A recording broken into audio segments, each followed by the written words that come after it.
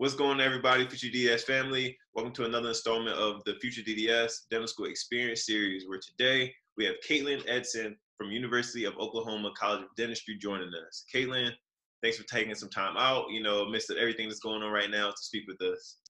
Yeah, thanks for having me, Terrell. I'm really excited about what you guys are doing, and I'm happy to be a part of it.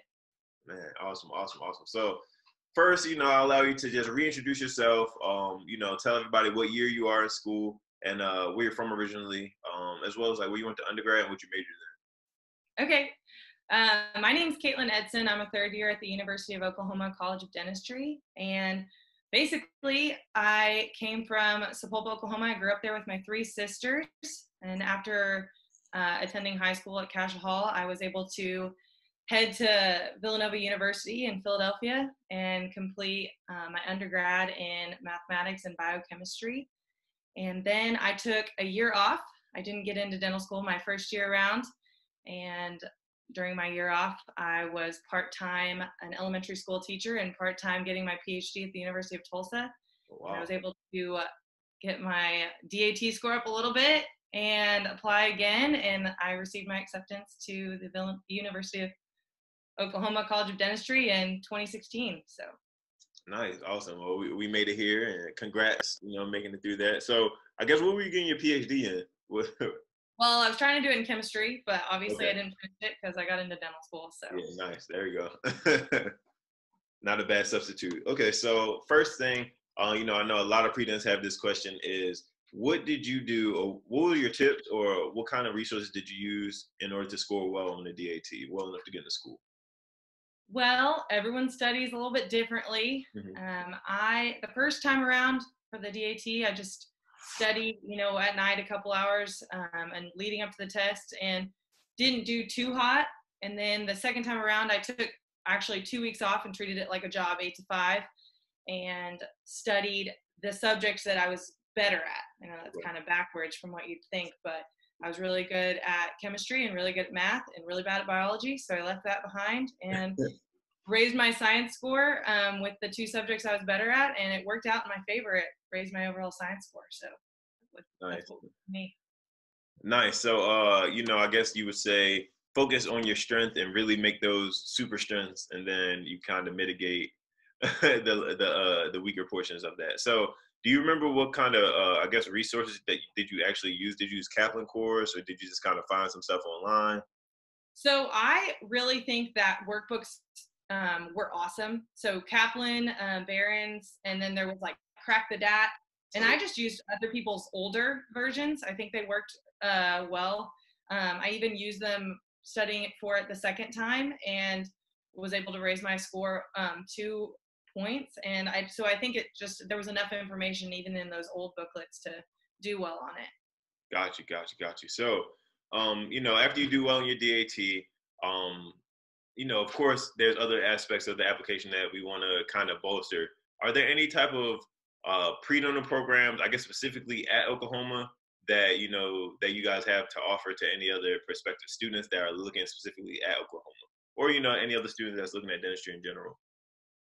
Yeah. So um, one of the main things that um, the University of Oklahoma does is we have what's called these pre-dental um, simulation labs, and our ASDA chapter actually hosts it, and we reach out to all of the Oklahoma pre-dental chapters, so any schools in the state, or at least try to.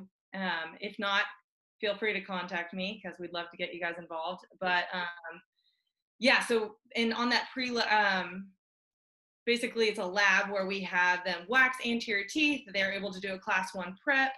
Um, they can ask questions and get answers from other students. They're able to meet our faculty and staff. And I do think this is a big part of um, getting into the University of Oklahoma is meeting, you know, dean of students, dean of mm-hmm. um, admissions, and it's a big it's a big thing that we offer there. And then of course, um, in the question and answer session, we're able to answer and give away our old DAT study books and things like that. So nice.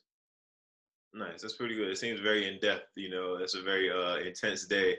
we try, but also it just kind of helps. Like, hey, it's not all about your application; it's about who you are too. So we want them to feel like welcomed at the school and know that you know they can put a face to the name, and maybe on that application, that dean or that student that's there will remember them.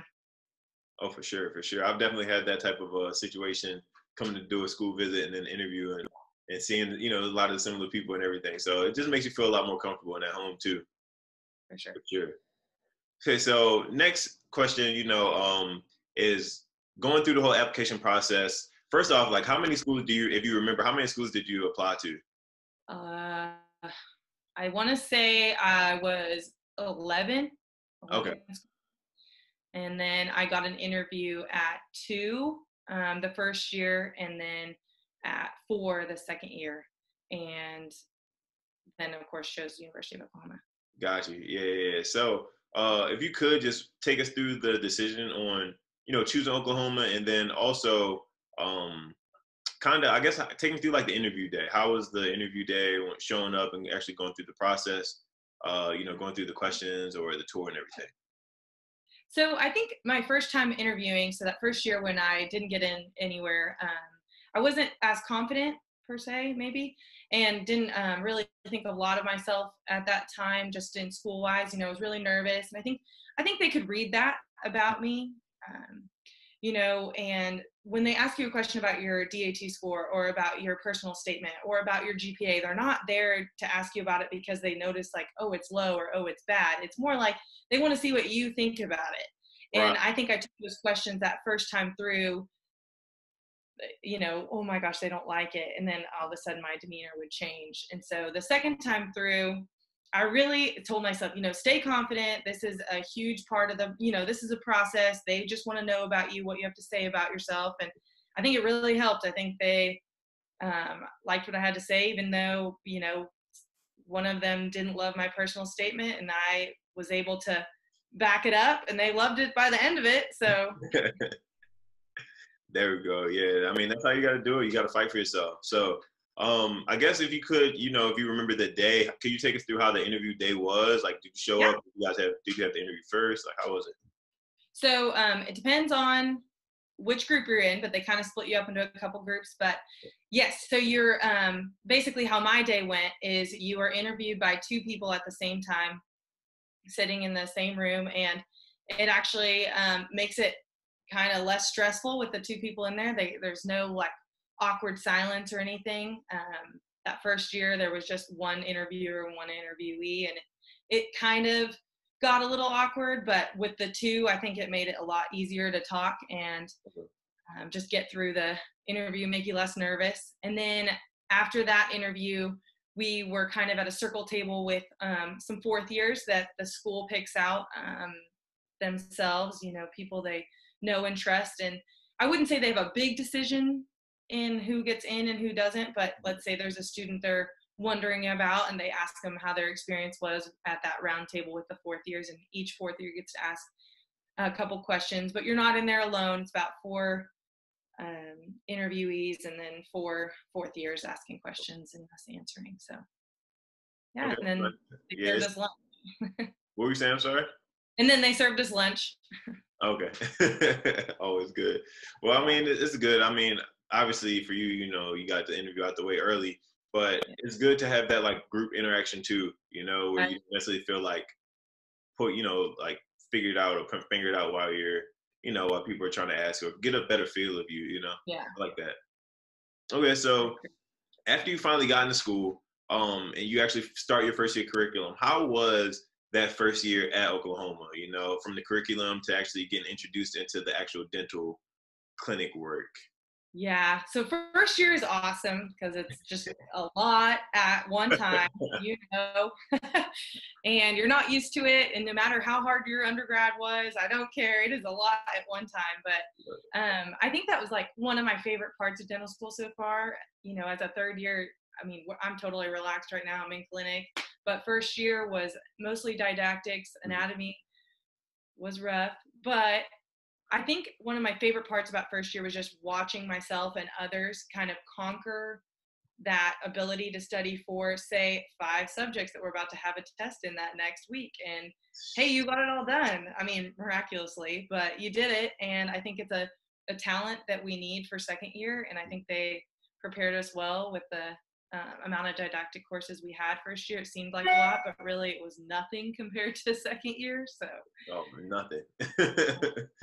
So yes, that's uh, first year's great. I would say, um, you know, get all your Netflix out of the way as a pre-dent. Um, try not to get caught up in it first year, but if you need to, you know, give yourself like segmented times, unless because for me, someone like me, I was procrastinating all the time, so yeah. I couldn't have any distractions like that. That's dental school, man. You gotta get through sometimes. yeah, sometimes you just gotta take a break and, and, and, keep your mental sanity about yourself. Honestly, I think it's important. So. So how was it uh, transitioning into actual like the preclinical classes and then actually getting into the clinic? Were you guys able to you know assist and actually see any clinic first year? So I actually think that's one um, like unique thing about um, the University of Oklahoma is that we are able to get into clinic pretty early. So first year you're able to assist a lot, um, but second year you take on your own patients. You do some OD workups and as well as cleanings. you have your own patients. And I think this was super important in that we were able to conquer being nervous around a patient we didn't know and the computer systems and working with the faculty and staff because that's huge. You know, you walk in and they don't know who you are because um, when it comes to third year, you know, you need to be on top of it for your operative and fixed and removable um, patients. And so you've already got the other stuff behind you, the computer, the staff, the patient um, contact, you know, you know how to do it all. So you leave the lab work and stuff for third year. Nice, for sure, for sure, for sure. So that's good. You guys get introduced to it pretty early as well. Um, yeah. So I guess is that would you say that's uh, you know I guess the most unique thing about your school, or do you, or is there anything else that you kind of want to highlight um, about Oklahoma or your experience there? So um, another, I guess that's one of my favorite things about it. But uh, one of my other favorite things about the University of Oklahoma um, College of Dentistry is that we host um, what's called Kids Day, and I'm sure other schools host it as well. But um, ours is one of the biggest in the country, and this year we were able to serve um, 100 plus students. We weren't exactly able to count all of them because we ended up um, sending them some to private practice, but we were able to um, serve our community and uh, work on 100 plus uh, kids on Kids Day and do cleanings, extractions, and mostly um, work that was, you know, if there was pain involved, and then if there wasn't pain involved, we were able to give them a cleaning. But that was huge and something exciting that the University of Oklahoma does. So nice, nice, nice. So last question, we're just gonna wrap up with this one. Uh, it's kind of like a fun question, so you can you can kind of take a little blast to the past.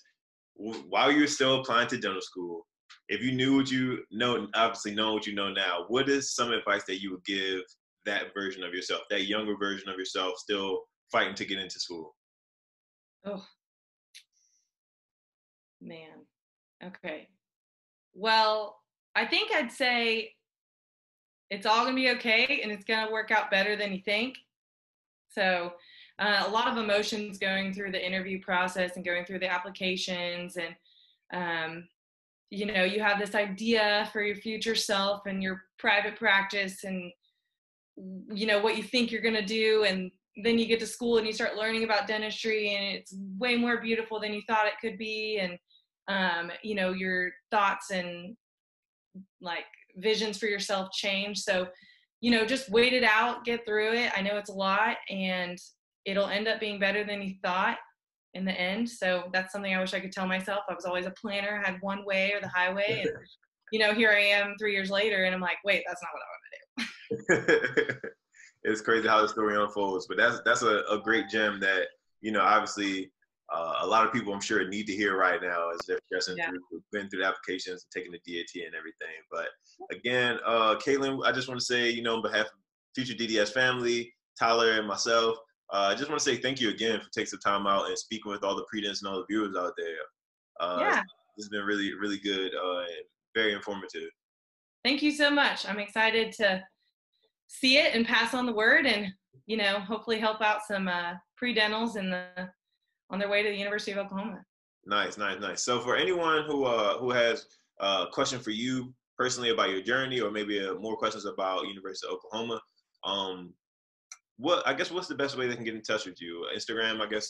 Uh, yeah, or, they can contact me on Instagram, uh, Caytlin Nichols, no spaces, and I can we can uh, anyway, or Oklahoma ASDA actually is a great way to get in contact as well. So.